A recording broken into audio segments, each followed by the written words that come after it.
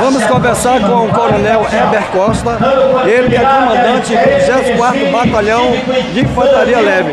Comandante, a importância desta data para o Exército Brasileiro.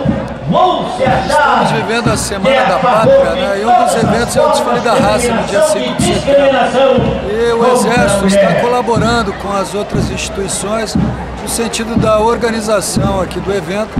E eu fico muito feliz que esteja tudo transcorrendo da melhor forma possível. E no próximo dia 7 de setembro estaremos todos os militares aqui do Exército desfilando em homenagem ao Dia da Independência.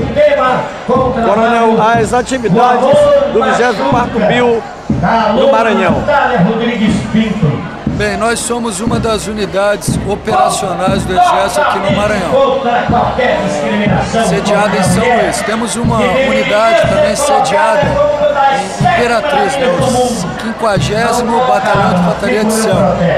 A nossa missão como missão do Exército é cumprir as atividades, a legislação constitucional, defender a pátria, garantir a lei e a ordem, é um dos papéis que a gente faz aqui no Maranhão. Com a sua mensagem ao povo maranhense, nesse dia que comemoramos o Dia da Raça.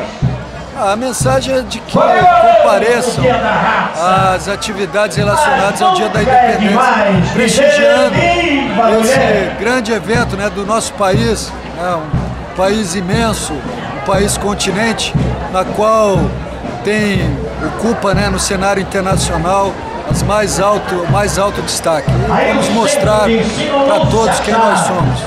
Conversamos então com o Coronel Heber Costa, ele que é comandante do 24 BIL, Batalhão de Infantaria Leve. De São Luís do Maranhão para o SJ Notícias, informou o Estênio John.